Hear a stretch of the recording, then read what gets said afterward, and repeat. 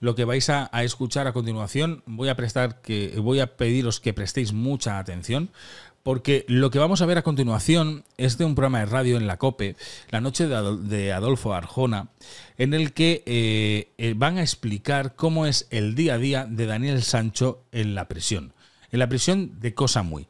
Ayer subimos un vídeo en el que Luis Garrido nos explicó os lo dejaré por aquí arriba fijado y también al final de este directo lo, eh, lo pondré para que podáis ir a verlo, en el que Luis Garrido, eh, periodista que reside en Bangkok, que reside en Tailandia, nos explicó cómo era el día a día en una cárcel tailandesa, eh, sobre todo en la Hilton, en la, en, la Gran Tigre, en la prisión de Bangkok, la gran o la archiconocida prisión de Bangkok. pero cómo es su día a día en la prisión de, de Cosamuy. ¿Cómo vive Daniel Sancho en esa prisión de Cosamuy? Pues bien, en este programa de radio nos, nos explican, en la noche de Adolfo Arjona, eh, nos explica el director de Fundación Más 34, más 34 cómo es la cárcel donde está preso el hijo de Rodolfo Sancho. Y es que la Fundación Más 34 es una fundación española que se dedica a ayudar y apoyar a los presos que están fuera de territorio español y nos va a explicar, vamos a escuchar de su viva voz, cómo es ese día a día en una prisión, o para ser más concretos, en la prisión de Cosa Muy. Vamos a escucharlo, que creo que no tiene desperdicio. Y vamos a ir parando y sacando conclusiones a todo lo que vaya diciendo. Revolucionó el panorama mediático español este pasado verano. El chef español Daniel Sancho, detenido en Tailandia por presuntamente matar y descuartizar a un hombre. Ese fue el primer titular, las primeras informaciones. A partir de ahí, un mane magnum de noticias hasta el día de hoy. Un caso desde su inicio despertó el interés de los medios de comunicación más que por el crimen en sí, por la persona que lo había cometido. El presunto asesino y descuartizador es hijo y nieto de dos de los actores más conocidos de España. Su abuelo, el recordado Sancho Gracia, su padre, Rodolfo Sancho. Mostrar respeto a las autoridades tailandesas, eh, que creemos en la justicia y cómo funcionan las cosas. Y no solo eso, sino que decir que mi hijo ama, por eso venía profundamente a este país, a su cultura, su gente. La víctima, Edwin Arrieta, un cirujano plástico de origen colombiano, socio, conocido, amigo o algo más de Daniel Sancho. Aún esto no está claro. Lo que sí sabemos es que la policía tailandesa fue encontrando distintas partes del cuerpo del médico y que el chef ha admitido en diferentes ocasiones el crimen, protagonizando incluso una esperpéntica reconstrucción de los hechos. Daniel Sancho, a sus 29 años, fue encarcelado el 7 de agosto en la prisión tailandesa de Koh Samui, la cárcel más mediática de los últimos tiempos, cuyas rejas abrimos esta noche en nuestro programa. Adentro. Vamos a conocer un poquito más esta prisión tailandesa. Me atiende el director de la Fundación Más 34, que trabaja contra la soledad de los españoles en situación de desamparo en el extranjero. Él es Javier Casado. Buenas noches y bienvenido a la cadena COPE. Buenas noches, Adolfo. Muchas gracias. Oiga, eh, desconocía la existencia de la Fundación Más 34. Alguna noche quiero llamarle y que hablemos en profundidad sobre esta fundación porque trabajar contra la soledad de los españoles en situación de desamparo en el extranjero no es cosa menor. ¿eh? No, hay cientos y cientos de casos que te podría contar de españoles de todo tipo por el mundo que nuestro trabajo fundamental es, que ningún español se encuentre desasistido por. Privado de libertad o no privado de libertad en cualquier situación es que también hemos tenido de catástrofes naturales, ahí ha aparecido la Fundación a ayudar a nuestros compatriotas. Tiene mi compromiso de que hablaremos, eh, no faltando mucho tiempo, eh, sobre la Fundación. Oiga, antes de entrar en el detalle de cómo es la cárcel en la que Daniel Sancho fue encarcelado hace dos meses, ¿por qué las cárceles tailandesas tienen tan mala fama? Pues por dos motivos fundamentales. Uno que es de los países con mayor hacinamiento del, mundo, casi tiene 300.000 presos, para que se hagan una idea de nuestros oyentes, España hay 50.000, con eh, el doble de población eh, como país, o sea, que España tendríamos que tener aproximadamente 100.000 presos y ellos tienen 300.000. Y también ha sido un país muy turístico dentro de esa población penitenciaria hay muchísimos ciudadanos extranjeros. Permítame que yo añada que las cárceles tailandesas eh, no están orientadas a la reinserción, como por ejemplo ocurre en nuestro país. Para lo ahí. Eh, eso es cierto, las eh, prisiones tailandesas no están enfocadas a la reinserción. Es algo que aquí hemos repetido en infinidad de ocasiones. Están enfocadas al castigo. Has hecho un delito, has cometido un delito, vas a ser castigado en ningún momento vas a ser reinsertado en la sociedad, porque ellos entienden de que este tipo de personas tienen que ser castigadas para aprender, no el tener cursos y tal para ser reinsertados. Yo soy de los que piensan, lo he dicho también en varias ocasiones, de que eh, no España debería también de, tener un mixto, personas que fueran reinsertadas, porque se lo merecen ser reinsertadas. No creo que todos los eh, criminales eh, eh, sean del mismo calibre, ni tienen que estar marcados por el mismo patrón, pero luego también eh, tienen que haber algunas de castigo, porque al final hay personas que no van a ser reinsertadas en la vida. Eso es algo que yo siempre he comentado. estabais diciendo por aquí, por el chat, varias, varias cosas, que por qué lo llaman chef. Eso es cierto, es, es lamentable, incluso llega a ser vomitivo de que lo llamen chef, que sigan R que R con el chef, cuando se sabe perfectamente que no es chef. En ningún momento ha sido chef, en ningún momento ha ejercido como tal. Pero bueno, eh, hay que tragarse que le sigan llamando el chef. Vamos a seguir escuchando. Y ojo que de la cárcel que hablamos hoy con Samui no está considerada la peor del país, las hay peores. En todo caso, Daniel Sancho es el preso más conocido de esta prisión. ¿Quiénes están allí encarcelados? ¿Delincuentes? ¿De qué perfiles y cuántos internos hay? Mira, te voy a poner un ejemplo para que un poco los oyentes se pongan en efecto. Cosa muy es una isla, comparativa con España, como podría ser eh, Palma de Mallorca, entonces es una cárcel donde todos los delitos que se convierten en la isla eh, ingresan en prisión, desde bueno, pues un, ladrón, alguien por tráfico de drogas, en este caso por asesinato. Entonces es un poco mare magno de toda la, población de delincuencia que haya en, la, isla. Pero eh, la dureza real es, es Bangkok. En esta prisión con Samui, el primer reencuentro, el primer recuento del día se produce a las 6 de la mañana. Y suena esto. El himno nacional de Tailandia. Dos horas después suena este himno mientras se hace el segundo recuento. Una jornada que termina a las 9 de la noche cuando debe imperar el silencio. Javier, ¿cómo es un día en esta prisión tailandesa? ¿Cómo, cómo duermen los internos? ¿Cómo se asean? Eh, ¿Cómo comen? Eh, ¿Cómo pasan el tiempo?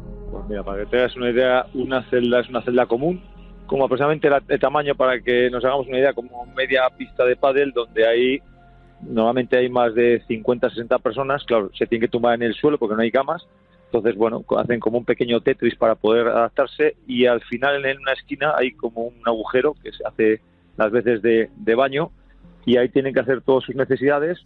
Vale, es lo que ya nos había comentado Tuyupa en su momento, que hay 50, 60 presos en una misma celda y de que tienen un agujero que es donde hacen sus necesidades y lo tienen que hacer delante de todo el mundo. Eso ya es algo que nos había dicho Tuyupa aquí en el canal. ¿eh? Ese hacinamiento que se encuentra dentro hace que dentro de la celda la situación sea muy difícil. Una vez que salen, como has dicho tú, ¿de acuerdo? Se dirigen al, bueno, al, al recuento, recuentan ahí después del himno nacional se recuenta haciendo cada uno el número, pasan al desayuno, que el desayuno no deja de ser un, poco de arroz, y intentan pasar el día de la mejor manera posible, porque en el patio también se produce el mismo hacinamiento casi que hay dentro de la celda. Eh, Javier, a los presos de Consamui les llega información del exterior. Decir, ¿Daniel Sancho puede leer o escuchar noticias sobre su caso o simplemente sabe lo que le cuentan sus abogados y sus familiares? Bueno, les llega alguna información porque en este caso los vagos y la, familia, que la madre está presente allí, pues le da toda la información que, va recibiendo para ir preparando eh, su defensa. Pero al final él es más mediático aquí que allí. Allí, bueno, por los internos y, por la dirección saben que hay una expectación mediática porque los familiares de los otros de los otros tailandeses ven que hay medios de comunicación en la puerta, pero poco más.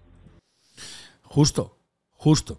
Y esto desmonta lo que decía Marcos eh, García Montes eh, en el vídeo anterior, en lo que hemos visto anteriormente, en que eh, lo que había hecho Silvia Bronchalo de interponer una demanda contra Rodolfo Sancho iba a, repercutir en lo que estaba pasando en Tailandia, cuando allí no importa absolutamente nada. No saben ni quién es Daniel Sancho.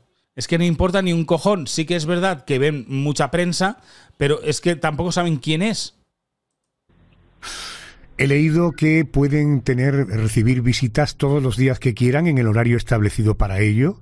Eh, que además eh, las visitas son limitadas en el tiempo que se hace a través de una mampara con un teléfono, en fin, una imagen que todos tenemos en la cabeza por las películas. Algo parecido a esto, ¿verdad? Sí, sí, es así. Tiene que el interno dar una lista, meterle la lista, digamos, de personas eh, amigables, que se dice, que es las personas que él permite la visita, que son cinco, y entonces si la persona está entre esos cinco, de lunes a viernes puede ir a verle durante un espacio corto de tiempo a través de una mampara. Y sobre todo puede ir a la, cantina y comprar algo de los alimentos que se venden allí para que luego el interno lo consuma dentro. Y por cierto, ¿cuál es el, uniforme eh, de los internos de cosa muy No sé si es un detalle menor o no, pero me llama la atención que Daniel Sancho, eh, sigue llevando el pelo largo, ¿no? Eh, no, no es menor porque hay dos colores, normalmente son un azul y marrón, que les distingue de los que están sentenciados a los que están en preventiva. Entonces, vale, una vez que está azul, sabes que es un, es un recluso que ya tiene una sentencia y en preventiva, bueno, pues está pendiente de que, de que a lo mejor un juez pueda decretar una libertad, como en muchos casos, no en este, pero delitos menores que al final el juez decreta libertad. El tema del pelo, yo creo que lo normal es que ya a día de hoy eh, ya se lo hayan cortado, sobre todo por salubridad. Además estaba pendiente porque el tema del pelo eh, se suele utilizar como una prueba para el tema de, uso de narcóticos, no en este caso, sino en todos. Entonces, una vez espera a no cortarle al principio hasta que un juez lo decida, para saber por el tema del, del pelo se puede sacar muestras científicas para saber si ese día esta persona o cualquier otra puede haber tocado narcóticos. Pero yo creo que eso ya, a las fechas que estamos, normal es que se haya cortado porque dentro de, la cárcel de Cosa Muy, con todas las de Tailandia, es obligatorio llevar el pelo. Lo tienen cortado, o sea, eh, eh, lo tienen cortado porque lo sabemos perfectamente que lo tiene cortado. A mí, a mí, a mí lo que me parece curioso, que esta entrevista es del 15 de julio del 2024. ¿vale? 15 de julio de 2024. Eh, eh, hemos visto a Daniel Sancho con el pelo corto. Con el pelo corto. O sea, que venga diciendo que sigue teniendo el pelo largo, me parece un poco aberrante. Aberrante. 15 de julio del 2024. ¿Vale? Lo, habéis visto aquí, ¿eh? Lo tenemos aquí marcado. Actualizado, perdonad, el 21 de junio del 2024 y actualizado el 15 de julio. 21 de junio del 2024. Ya estaba con el pelo corto. Y es que las imágenes con pelo corto de Daniel Sancho lo hemos visto muy al principio. Muy al principio cuando entró en prisión. No sé para qué dicen lo del pelo largo, no lo sé el pelo rapado para evitar eh, por ese calor el tema de contagio de enfermedades. y es cierto que en Koh Samui los extranjeros son mejor tratados, tienen mejores condiciones y algunos privilegios de los que no pueden disfrutar los presos tailandeses. Eh, sí, en parte porque lo que se les hace normalmente, como la gran mayoría de ellos son delitos menores, normalmente los que, extranjeros que han estado en Koh Samui son gente, porque para que nos hagamos una idea, por un, la, allí el, el tema de la droga está penado, como decías tú antes, no existe capacidad de residencia, sino es una pena. Entonces, con un porro son tres meses de reclusión. ¿Qué se hace? Normalmente cuando este tipo de delitos se les mete en un área de enfermería en la cual es mucho más lexa que entrar al patio común. Eso es un poco por el cual a los extranjeros se les suele, digamos, tener un trato de favor porque normalmente el, el, tailandés se ingresa directamente sin pasar previamente por este pabellón.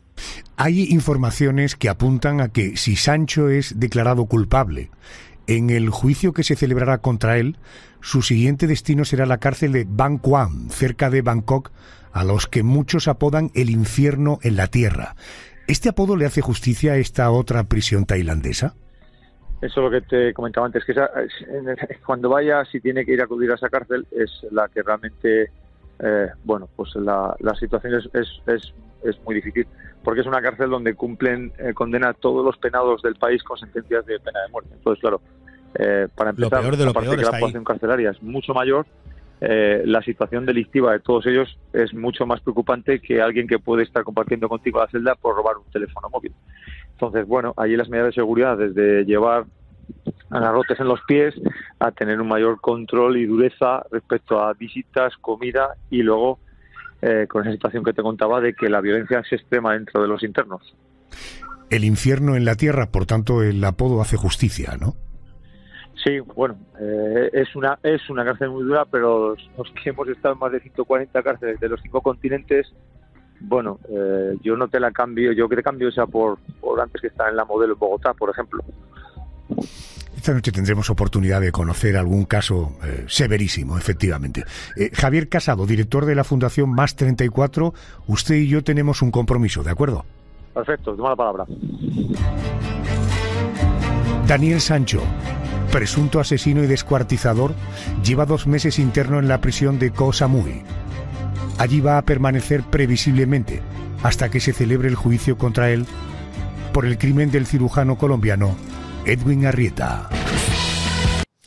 Bueno, eh, vamos a intentar, eh, voy a intentar contactar con, con el, fundador de, o sea, el director de la Fundación Más 34. A ver si puede venirnos aquí y, puede actualizarnos más lo que pasa con Daniel Sancho en Cosa Muy. Porque realmente mm, lo que me di cuenta es que van un poco despistados. Es verdad que le sigan llamando chef, eh, youtuber, por ejemplo. Para mí que le llamen youtuber, a, mí, a mí me sienta mal. A mí me sienta mal porque no puedes comparar lo que hacía Daniel en YouTube con lo que hacemos nosotros, que estamos aquí día a día trabajando, día a día eh, haciendo contenido para vosotros. Daniel Sancho no hacía nada de esto. A mí me sienta mal. Y me imagino que eh, cuando se refieren a él como chef, a los chefs de verdad también le, le ocurrirá lo mismo. Les sentará mal que, que, que, los relacionen con, con, Daniel Sancho. Y a mí me pasa exactamente lo mismo, como, como mm, me creo o, creo que, eh, que, soy youtuber, ¿no? Porque al final soy eso, porque estoy aquí delante de vosotros contando noticias y dándos información y creando contenido diario. Entonces, a mí mm, eso me repatea por dentro. Me repatea y, y me parece que, que está fuera de lugar. Deberían de acabar de llamarlo de eso. Si queréis no lo sé, llamarlo relaciones públicas eh, o no, ni tan siquiera. Eh, promotor, porque era lo que hacía, se dedicaba a repartir flyers, ¿no? Se dedicaba a repartir flyers de los locales de moda en Madrid para, para, para que fueran allí y lo visitaran, ¿no? El local. Deberían llamarlo así. O realmente llamarlo descuartizador confeso. El descuartizador confeso. Dejemos ya de llamarlo chef o de llamarlo youtuber. Incluso chef youtuber. Dejémoslo ya. Entonces vamos a llamarlo lo que es, ya que todavía no se sabe si eh, es asesino, porque sí que lo es, porque acabó con la vida de, de, de Ewin, pero lo que sí que él ha, confesado es que es un descuartizador. Pues llamémosle descuartizador confeso, el descuartizador confeso Daniel Sancho. Y dejemos ya llamarlo chef y de llamarlo eh, youtuber o de llamarlo eh, de lo que quieran. No, ya está bien. Ya está bien. Para mí es un descuartizador confeso. Eh, os quería traer esto más que nada para poneros un poco, eh, entendierais, después de que ayer escucháramos cómo sería su vida en Bangkok, en la prisión que casi con toda seguridad le va a tocar estar, en la Hilton, como decía, el infierno en la tierra, la, prisión de Bangkok, después de que ayer Luis Garrido nos dijera cómo es esa prisión y cómo va a vivir en esa prisión, pues que sepáis un poco cómo es su día a día en esta prisión de Cosa Muy, ¿no? Donde hay criminales de todo tipo, gente desde que ha robado un teléfono móvil hasta una persona que le han pillado con un porro, hasta eh, personas como Daniel Sancho que han acabado con la vida de una persona y la han descuartizado, ¿no? Que el peligro no es el mismo, no es absolutamente el mismo. Cuando esté en Copagán, en, os diré en Bangkok, pues será todavía mucho peor.